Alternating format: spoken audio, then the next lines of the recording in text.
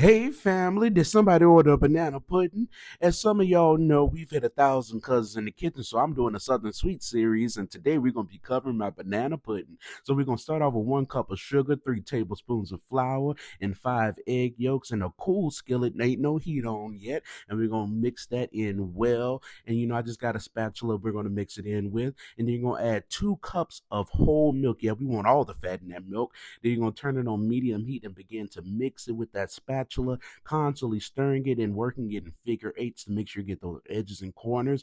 And then your pudding is going to begin to thicken up. And as your pudding hits your preference of thickness, we won't go ahead and turn that heat off. And then go hit it with some vanilla extract and let your ancestors lead you. All right. And then we're going to take four to um five bananas and you're going to chop those down. I chop them down pretty thin. And then you're going to begin to layer your banana pudding.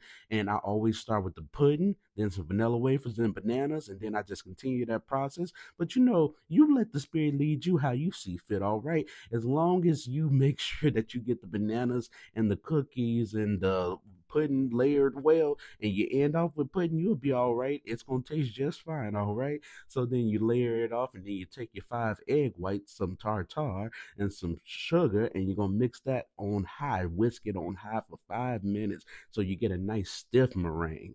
And then once that meringue is done, you should be able to flip it over just like that. And I take my meringue and I flatten it out across the banana pudding, make sure that it gets some nice peaks and valleys and edges and corners, and I preheat my oven on 350, but you really just want to make sure your meringue looks like what you want it to, all right? And then put it in that oven, watch out for it. And then once it hits your preference of brown peach, you take it out and bam, the banana pudding made the Delta way.